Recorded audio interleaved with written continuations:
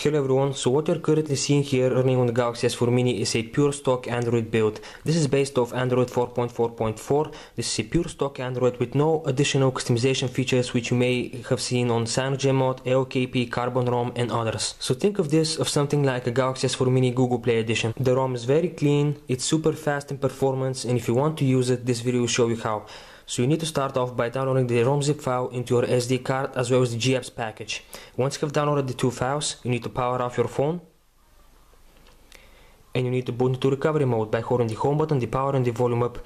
Please do keep in mind you need to have a custom recovery in order to install this ROM. Anyways, once your phone has powered off, you need to hold the three buttons and you should be in recovery mode. In my case, I am running ClockworkMod Recovery.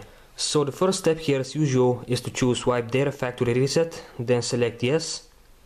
This should take just a few seconds or up to a minute depending on how much data you have. Next you need to choose install zip, then choose it from storage SD card 1. In older CDOM recoveries this is labeled choose it from external SD card. Anyways select that and select the AOSP 4.4.4 zip file and choose yes to install it.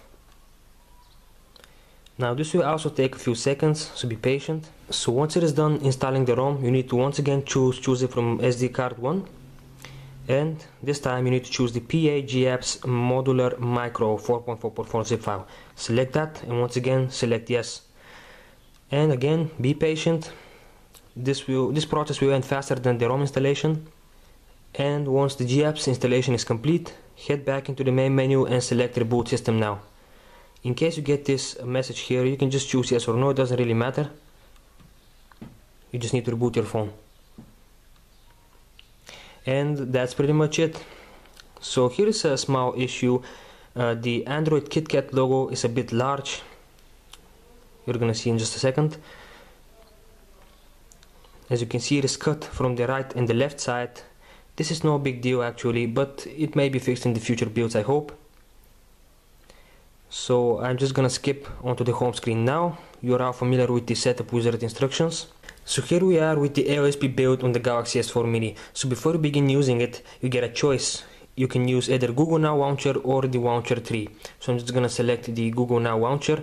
If you swipe to the left, you get to the Google Now screen and the OK Google command also works from the home screen. As you can see, I just said OK Google and it immediately pops up. The default applications which you get installed after watching the G GApps package are Gmail, Play Store, Google Play services, uh, Google settings, and stuff such as that. As you can see, it's pretty a it's a pretty light package. You only get one page of applications, and there's even space for three more here to add so it's pretty light.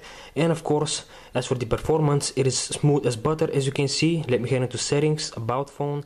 This is the android 4.4.4 version the latest version of the kitkat series. And I'm pretty sure that the new ART runtime has already been made a bit more stable now. So if you get into developer options, you can find the option select runtime and you can choose use ART. You then need to reboot your phone and you should notice the difference in speed and performance so let me just show you the booting time after using art. So I'm gonna power off my device I'm gonna boot it back and you're gonna see how much fast it boots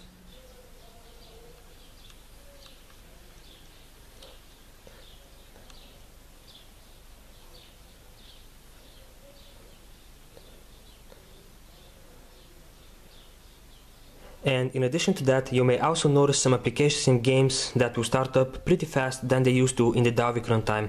An example for this is Angry Birds. So let me just start it up. To me it seems pretty fast, it just takes a few seconds and I'm immediately on the menu as you can see.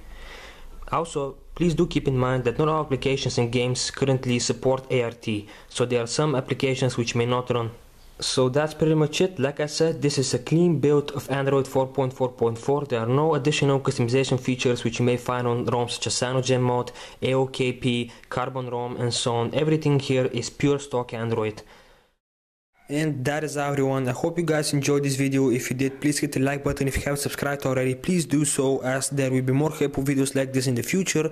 Also i would highly recommend to check out this other channel that i have. I do app reviews. I comment on things. I show you uh, various tips and tricks on stuff. So yeah you can check it out if you like. Once again thank you for watching everyone and i'll see you next time. Goodbye.